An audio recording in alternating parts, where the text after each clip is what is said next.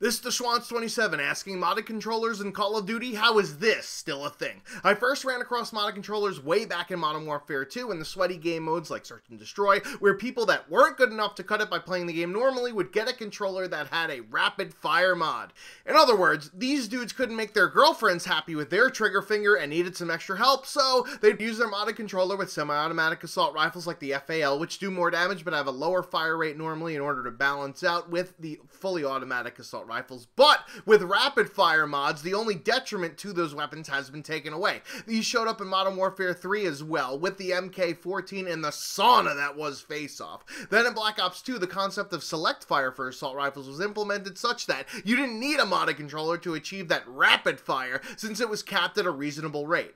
When the now generation of consoles hit, there were no controllers for sale that offered the same type of advantage as previous games, plus no semi-autos were even competing with the M27 and Ghosts and the Valor ASM-1 in Advanced Warfare. During Black Ops 3's time period, however, it was plagued with people using a new type of modded controller, a jitter mod. I mean, this douche canoe even has the word written across his gun, as if to just scream to everybody in the lobby, Hey, I'm a cheating little cum dumpster! The Brecci was already by far and away one of the best guns in pubs for Black Ops 3, yet these fuck trumpets felt they still needed an even bigger advantage that wasn't aiming properly for this clip here, or in this instance here. So they bought a type of controller which will cause the gun animation to behave all jittery by having macro inputs in order to get around those fire rate limiters by sending massive amounts of fire and reload commands all at once to cancel any delay in between shots. Like I said though, most players that do this are so fucking bad that they deserve the dip dip potato chip.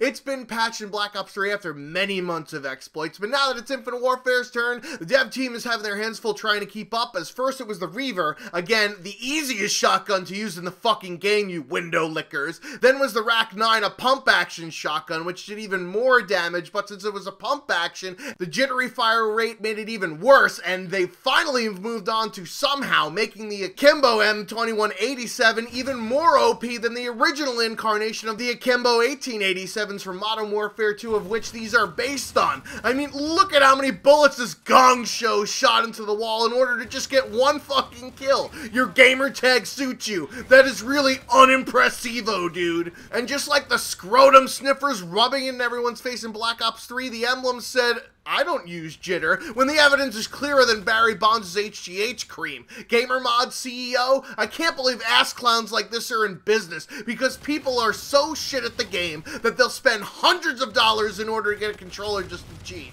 What about these fart inhalers? They're Master Prestige fucking 30, the highest level in the game. And one of these guys in a message back to someone calling them out that they're just bored of the game. Let me get this fucking straight. You're bored, so in order to enhance your experience and not be bored, you have to ruin someone else's experience. That's the definition of being an asshole. Maybe find another fucking game if you're bored of this one. Stop playing shit you don't enjoy. What the fuck is wrong with you? Oh, and put away the gesture for you cheating in the final kill cam. It just makes you look like a goddamn dumb shit.